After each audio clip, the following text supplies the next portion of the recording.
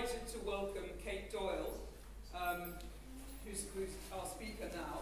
Kate specializes in, in studying experimental music and sound in visual performance art. Her work is truly interdisciplinary, ranging between musicology, art history, and communication theory. Thank you very much. Thank you. Thank you to everyone involved in this wonderful symposium, and special thanks to Jo and to Gabriella. Let's start with a few seconds of listening.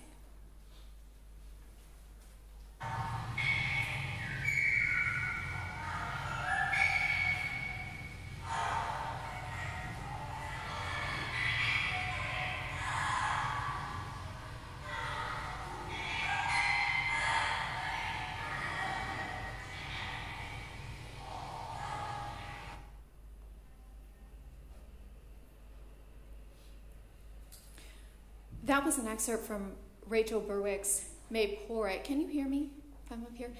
Maypore, a piece that she began in 1997.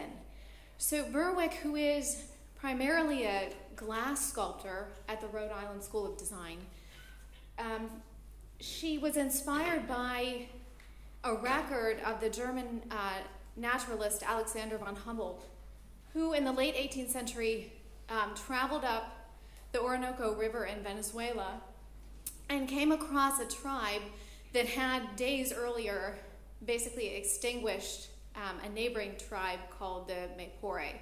And this tribe took the Maypore's parrots, which were kept as pets, and um, when Humboldt came across the tribe he found, uh, they presented him with a parrot as a, as a gift. So Humboldt was listening to his parrot, and um, singing, and he realized that the parrot was not singing. The parrot was speaking the language of the now deceased tribe. And so Humboldt uh, recorded the parrot's speech phonetically, and there are records of this. Um, and Berwick came across those records and began with um, another woman who is um, basically sort of an animal trainer to, um, to teach two parrots at Maypore. And, and then she created an installation.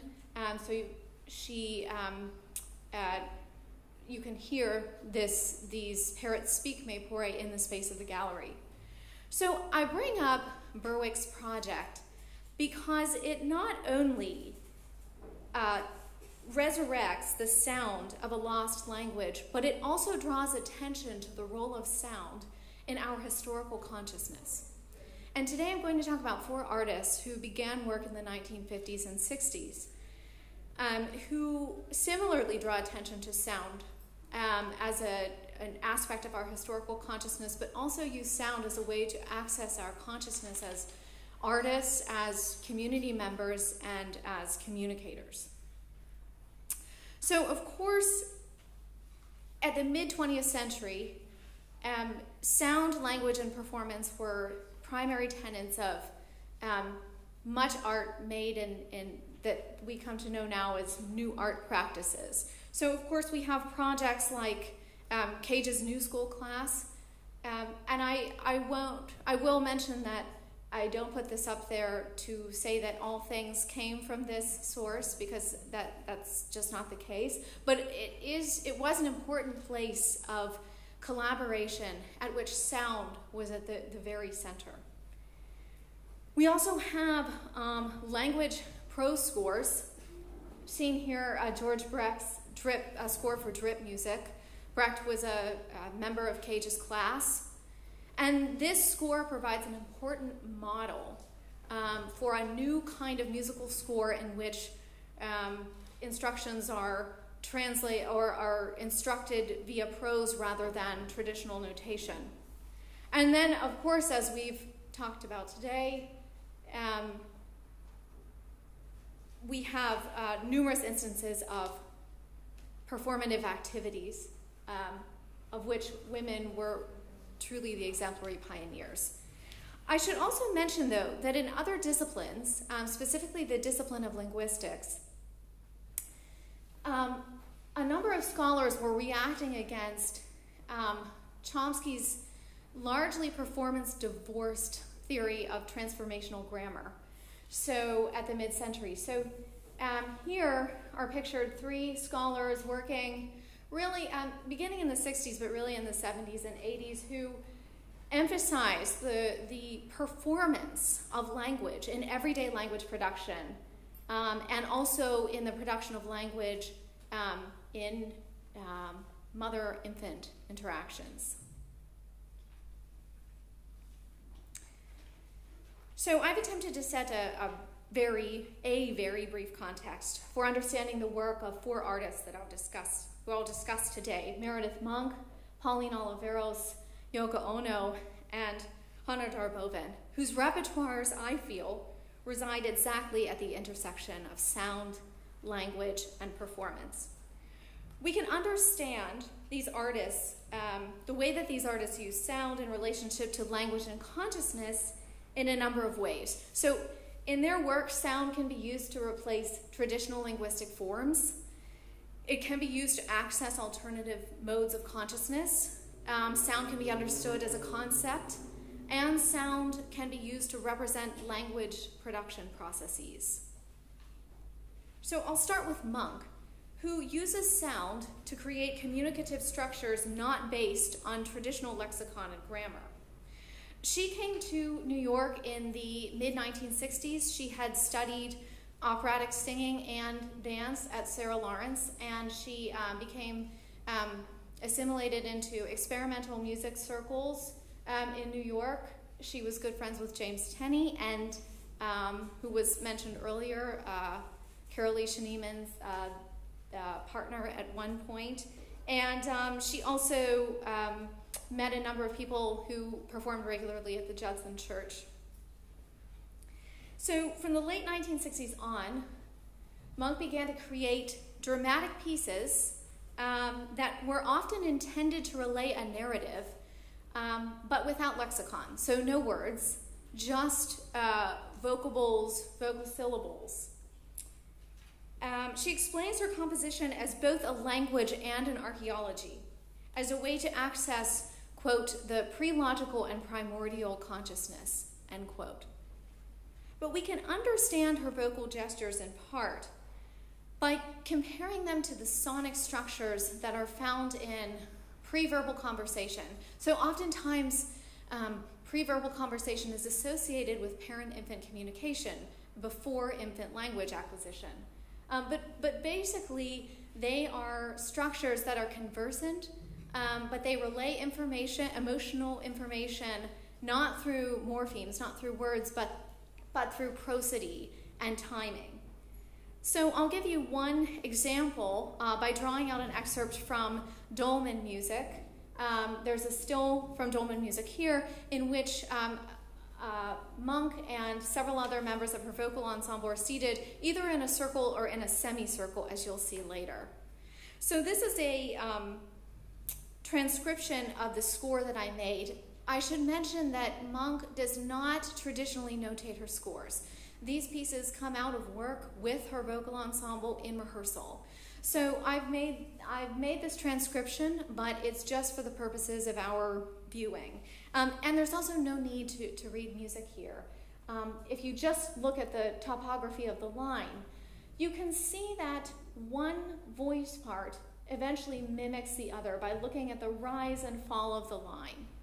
So basically, what, what I'm arguing that this is, is um, these are examples of sympathy or mirroring, a, a key component of pre-verbal conversation. So let's listen to a moment of this here, and I'm going to pull this up separately.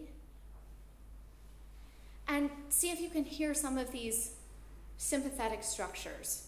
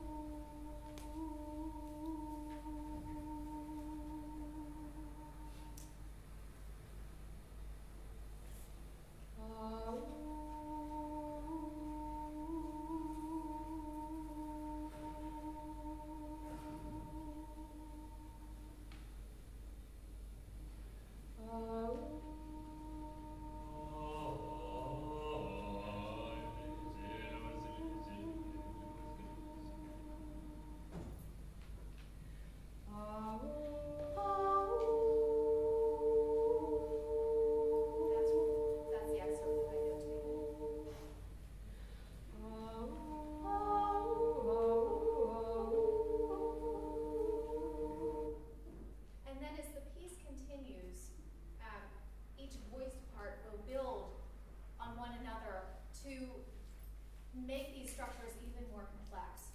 I don't have time to, to talk about those today, um, but instead I'll turn um, to the work of Pauline Oliveros, who similarly, similarly explores sympathetic structures of communication in her work. So Oliveros was an early pioneer of electronic music in the late 1950s in San Francisco.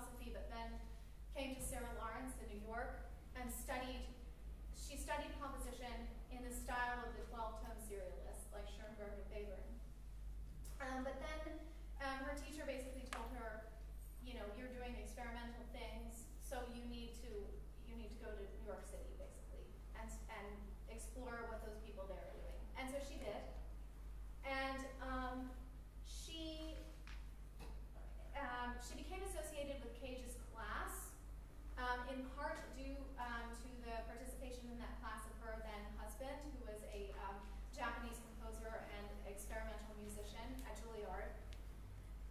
Um, but at night.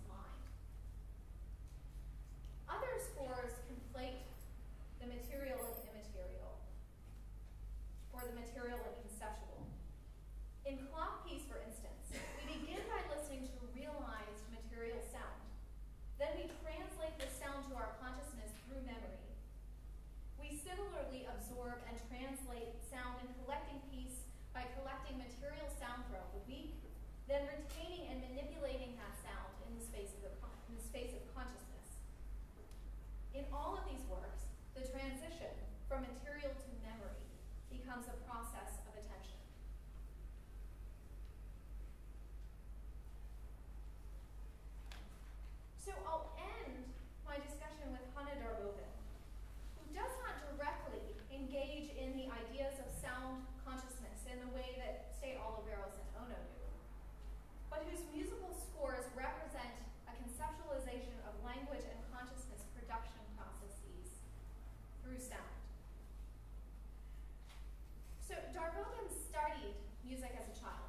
She was a pianist growing up, but then her formal training was in visual art.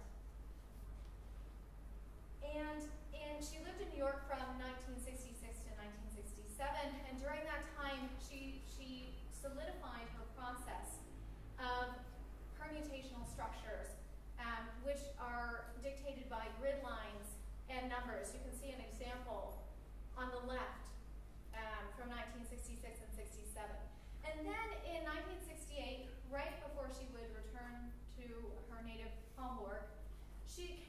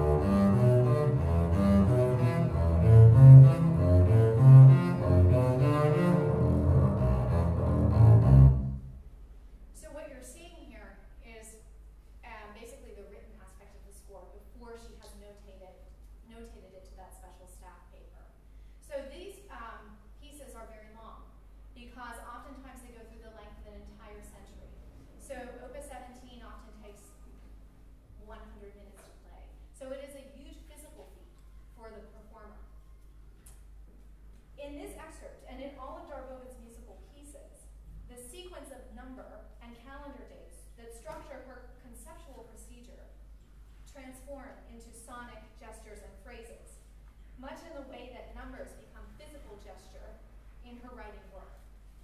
So Darboven's continuously, continuously writing arm becomes replaced by the continuously bowing arm of the bassist or the performer.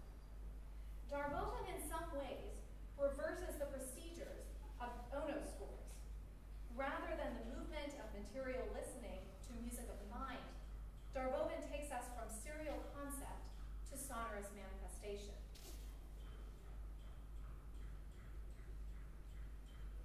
Mom?